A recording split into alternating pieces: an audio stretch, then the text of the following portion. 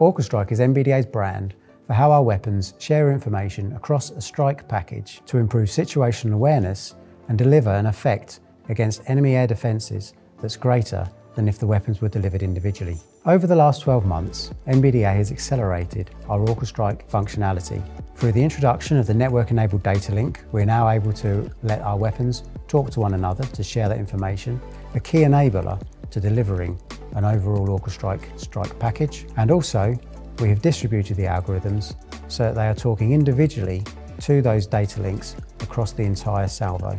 At the show today, people viewing the demonstration in our synthetic environment will see MBDA showcasing our dynamic weapon target allocation, which is a cooperative functionality. Within Orchestrike, we have cooperative, collaborative and coordinated effects. Specifically, cooperation is a spiral upgrade where our weapons talk to one another, share information about their situational awareness and deliver greater survivability and an overall improved effect. That doesn't mean we get rid of the human from the situation. Our weapons will always deliver an effect that's been agreed and pre-planned or dynamically agreed with an operator.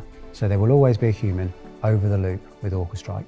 The demonstration will show a God's eye view of the weapons being released from a platform and heading towards their targets. And as weapons are taken out by enemy air defences, you will see that the weapons talk to one another, realise the loss of a weapon and reallocate themselves, always taking out that highest priority target, which means the strike package does not have to return to take that target out on another day.